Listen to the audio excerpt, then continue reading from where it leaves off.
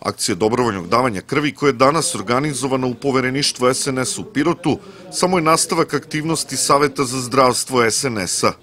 Na dosadašnje akcije podsjetio je koordinator Saveta za zdravstvo dr. Sava Rančić. E, Ovo je samo jedna u nizu akcija koje smo imali do sada, koje su se obavljale što u prostorijama stranke, tako i na terenu.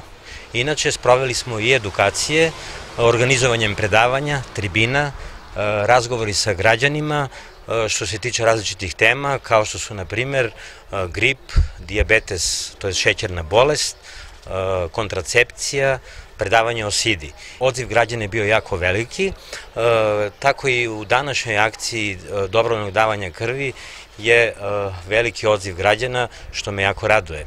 Nadam se da ćemo ovu akciju uspešno završiti do kraja i dati doprinos održanju i unapređenju zdravlja naših građana. Dr. Aleksandar Ćirić je baš kao i dr. Sava Rančić danas bio u dvostrukoj ulozi, kao član Saveta za zdravstvo, ali i dobrovoljni davalac. Svi zdravi i sposobni ljudi treba da daju krv.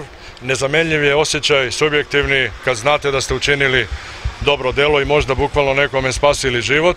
Krv se može dati 3 do 4 puta godišnje od 18. do 65. godine života.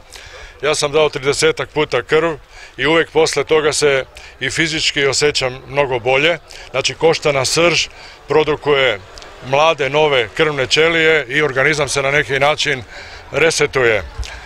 Znam da ima piroćanaca koji su dali preko 50 pa i preko 100 puta krv, neke od njih lično poznajem i to su po meni pravi naši heroji. Tako da svi koji se osjećaju zdravi, sposobni, neka daju krv, osjećat će se još bolje nakon toga.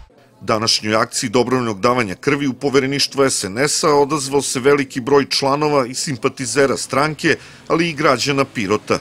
Iz Saveta za zdravstvo SNS-a najavili su da će u narednom periodu biti još ovakvih akcija.